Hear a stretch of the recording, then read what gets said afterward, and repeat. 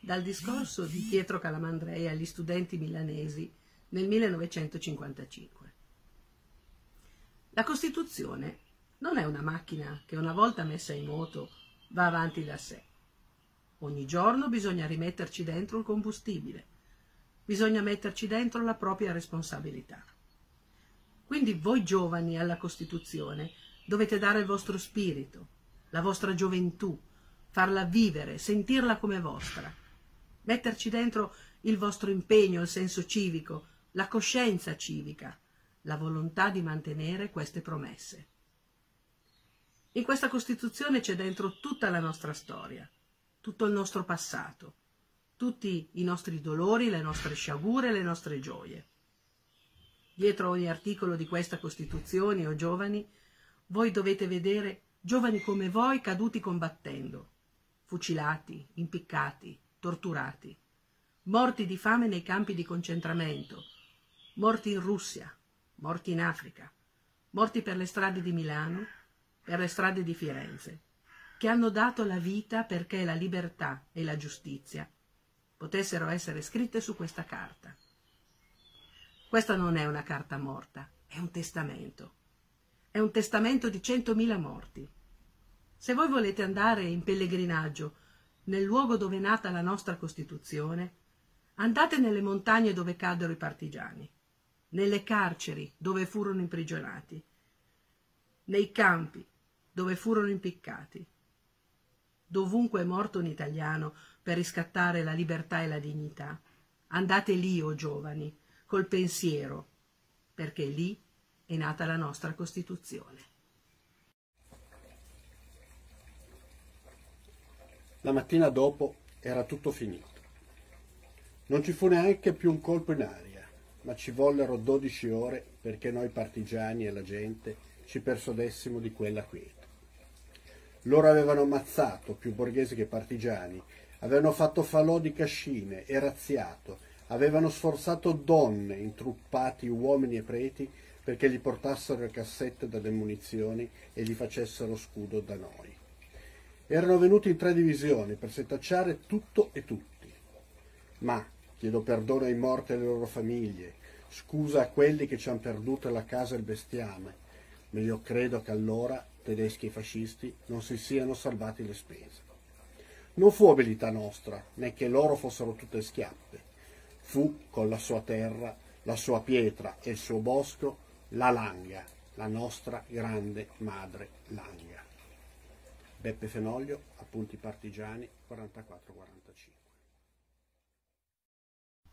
Aprile 1945 di Buzzati.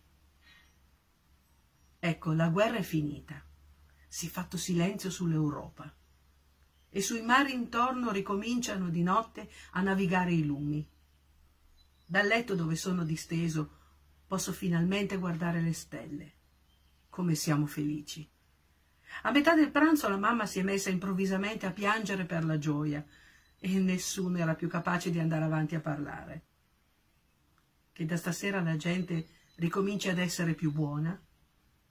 Spari di gioia per le vie, finestre accese a sterminio, tutti sono diventati pazzi, ridono, si abbracciano, i più duri tipi dicono strane parole dimenticate. Felicità su tutto il mondo, è pace, Infatti, quante cose orribili passate per sempre. Non udremo più misteriosi schianti nella notte, che gelano il sangue, e al rombo ansimante dei motori le case non saranno mai più così immobili e nere. Non arriveranno più piccoli biglietti colorati con sentenze fatali. Non più al davanzale per ore, mesi, anni, aspettando lui che ritorni non più le moire lanciate sul mondo a prenderne uno qua e uno là senza preavviso e sentirle perennemente nell'aria, notte e dì, capricciose tiranne. Non più, non più. Ecco tutto. Dio, come siamo felici.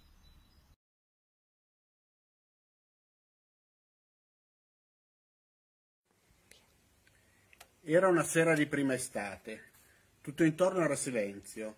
C'erano tante stelle e, ripercorrendo quel sentiero, udivo solo il fruscio delle foglie. Pensavo alla lunga camminata che dovevano affrontare quei ragazzi per giungere al falchetto. Quanti altri come loro avevano abbandonato le proprie case per rifugiarsi sulle colline e sulle montagne.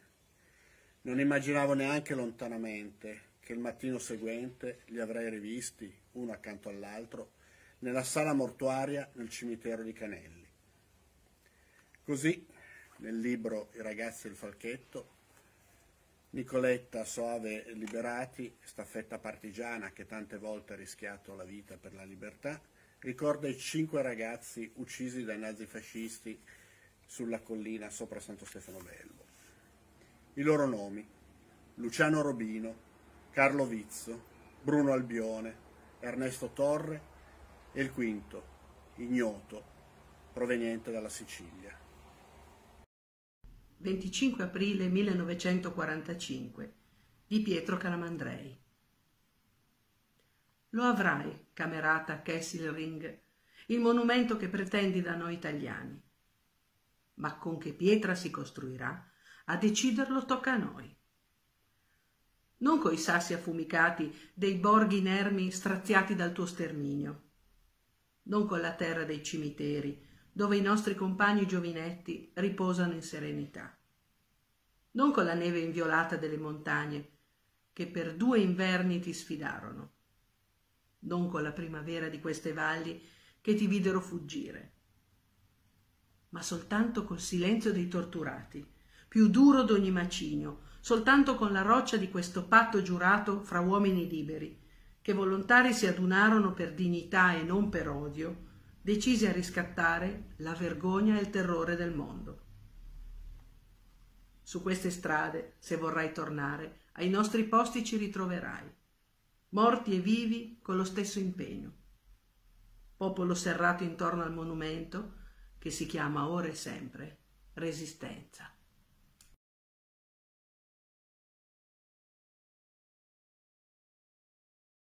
Ogni anno abbiamo concluso la nostra camminata resistente dai Cafi al Falchetto con queste brevi ma significative parole tratte dal partigiano Johnny di Beppe Fenoglio. Mi sembrava bello ricordarle anche oggi, così ve le leggo aggiungendo solo due righe in più. Johnny sedeva e fumava al limite della pioggia. Fare il partigiano era tutto qui. Sedere per lo più su terra o pietra, fumare ad Averne e poi vedere uno o più fascisti alzarsi senza spazzolarsi il dietro e muovere a uccidere o essere uccisi, a infliggere o ricevere una tomba mezzo stimata, mezzo amata.